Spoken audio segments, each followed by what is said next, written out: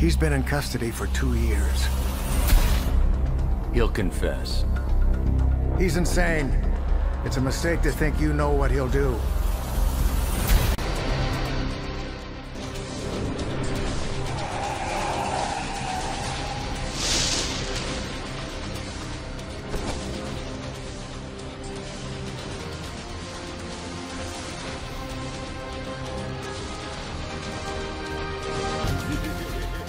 All these years, and I don't know who he is any more than he knows who I am.